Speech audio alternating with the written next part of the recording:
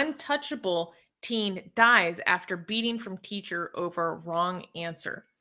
And just disclaimer, we use the term untouchable only for the identification of more people outside of India. We recognize that Dalit is the more appropriate term. Just a lot of people outside of India, I don't know that term. Um, on September 5th, on September 7th, a 15-year-old Dalit boy, Nikhil Dohre, was severely beaten by an upper caste teacher, Ashwini Singh, for making a mistake on an exam in the Indian state of Uttar Pradesh. Some reports say that the teacher used a stick or a rod to beat the young boy. Others report that he was kicked until he fell unconscious. After the incident, Dohre received medical treatment, but his health deteriorated and he was taken to the hospital for intensive care. The following day, the formal declaration of death was determined. According to the police complaint filed by the father of the deceased, Ashwini initially promised to pay the expenses for the boy's medical treatment. However, after giving 40,000 rupees to the father, then he stopped taking his calls. And it's also reported that at this time he started using casteist slurs against the father. After the news of Nikhil's death spread, violent protests erupted. The protesters set two police vehicles on fire and damaged several private cars. Protesters also allegedly threw stones at police for not being able to catch the accused who fled. On September 29th, after a week long search, the police arrested the accused teacher. Um, yeah. So this is obviously just like a horrific crime. There's a lot of the story that isn't entirely clear in English speaking media yet. The reports are that the teacher who did this is an upper caste Hindu who, or just an, actually maybe not Hindu necessarily because I haven't read Hindu, just that he is an upper caste individual because it is across religions. Anyways, um, that either beat him for a wrong answer or just misspelling a word, essentially. How and, would you beat somebody enough for them to die? Like, how could you like what what what are you doing? I mean, I mean, any beating is bad, but like, how how on earth, like, what are you doing that leads to that? Yeah, yeah. I know that like corporal punishment is basically like very common in a lot of Indian schools, but like this level is pretty shocking to a lot of people. Um, and I thought this was important to highlight because we covered the story of another young boy who was about nine years old, who we covered that story about four or five weeks ago. And this is very similar to that. And this is giving rise to a larger awareness of caste based violence in India. Because I mean, like, people are already aware of it. There are a lot of people that deny it. Um, but empirically, the records from the government itself showed that between 2019 and 2020, there was an almost 10% increase in violence and attacks on Dalits within the span of one year. So this is a huge problem, and this is something that's increasing, but it is seemingly getting more media attention than it used to. Like I have a lot of friends in India, and for a lot of crimes that happen and assaults against Dalits, they say like honestly, a lot of them don't even get covered because it's normalized to a certain extent. Um, but because of the death of that boy about four or five weeks ago, and then incidents like this, there is it's starting to become more of a wake up call about how endemic the problem is.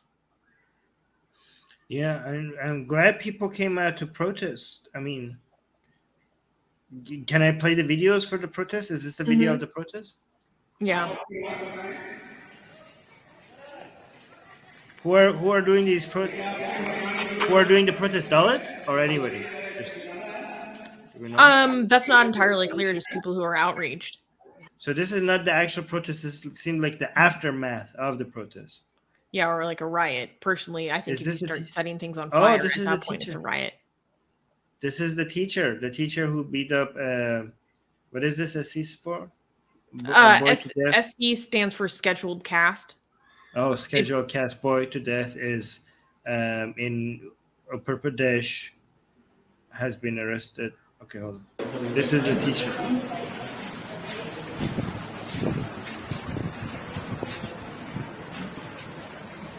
I hope they make a major, big enough example of, of him to discourage other teachers from like doing anything similar.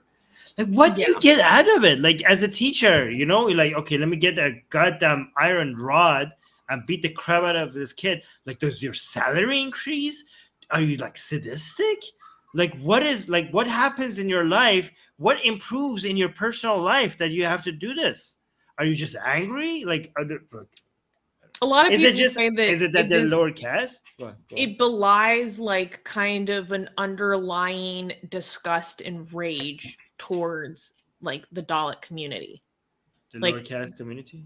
Yeah, exactly. I mean, uh, when I read about incidents like these, like it is analyses primarily from people involved in activism for these communities.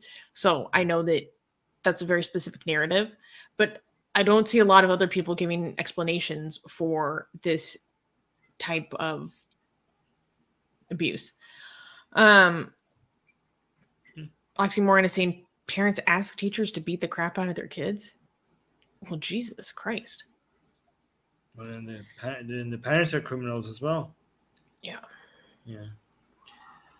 Anyway, so just to be clear, we don't uh, we can't 100% be sure about why this happened okay but given that there's so many different um, reports of lower caste people dying at the hands of upper caste people in india um, you know whether or not this is one of those examples this highlights that problem that systemic systemic problem that exists across india right yeah um I mean, so, it's like really extreme forms of violence. Like it's called caste atrocities for a reason. In fact, just a few days ago, or within the past week, there was an incident where two Dalit girls were taken into a field, gang RAPE'd.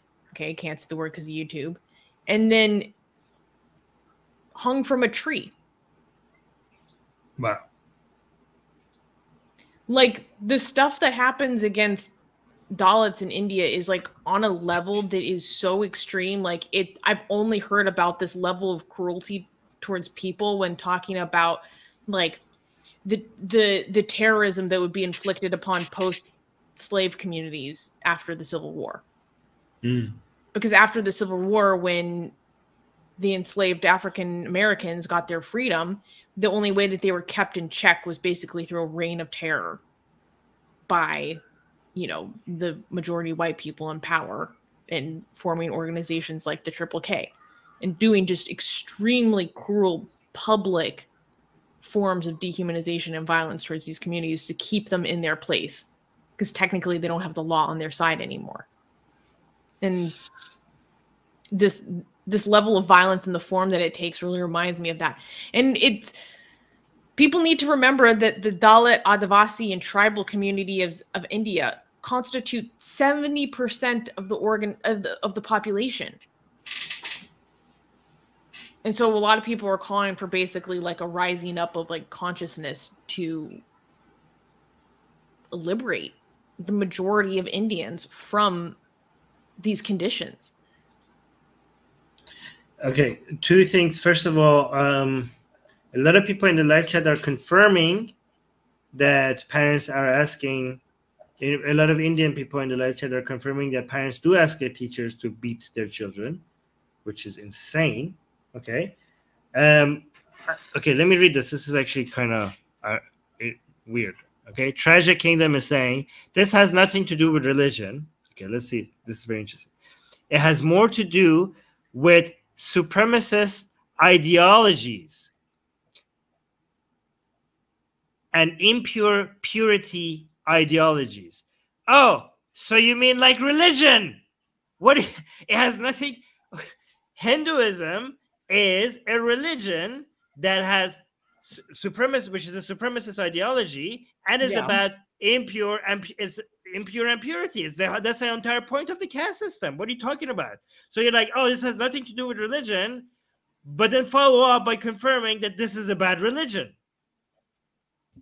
In India, the Dalits are declared. The Dalits and the Shudras are declared the most spiritually impure because their caste in, in, uh, jobs dictates that they deal with the worldly things, the material things, the things of this world that make them impure because they're more tangibly connected to the cycles of life and death than others who pers- pursue intellect and esoteric knowledge. That's the whole point. That's what makes them impure. like I just can't get over this country. This is how bizarre this is. Is this like satire? This has nothing to do with religion, and then follows up by it has more to do with supremacist ideologies and impure purity ideologies. Okay, so then religion. Thank you so much. that's that's religion. God damn it, unbelievable. Um, just because the president of a tribal themselves? woman doesn't mean that these things don't happen. Yeah. Um, oh, he's people are saying he's just rephrasing. just rephrasing. true, true, true. Uh, wait, let me see. Um, Shreya is saying the president is a puppet on formality when uh, the minority president. What is this? I don't understand this. Anyway, so in, in, terms of the role within the government, you know, the the oh. when you have a parliamentary system, the president as isn't actually that important, right? Oh so yeah, okay. Use that position to slot in someone with a politically convenient identity for the sake of pandering to an audience that they want to bolster their support. So right now, the president is a, a, a, tribal woman, which is actually very historic, and she's part of the BJP party. Um, yeah. Which oh yeah, was causing all these political contentions. Yeah, I, I get. I, I heard the role of the presidency in India is to like just have a palace and just chill there. I think that's the role of the president in like most parliamentary systems, honestly. Mm. Um, I don't know. In Israel, they have like they he does like goes and travels and the present like acts like a cheerleader for the country or something. So he does some stuff. Anyways, we don't know. By the way, having having a president and a prime minister shows that you don't need a monarch for a heads up for a head of state you know you know because a lot of people who support a monarchy they say like you know we have a head of state and we have a head of government okay? So the, that's what the monarch can do can be like the kind of like a cheerleader. But the fact that some republics have a president and a prime minister well like yeah, we have a head of government and we get a president for the heads of state. So there you go. You don't need to make it um, lifelong and you don't need to make it based on um, birth right? So based on bloodline it could it could still be an elective position. You don't need a king. Mm-hmm. Get my best-selling book, Why There Is No God, for free. Click on the link for it in the description.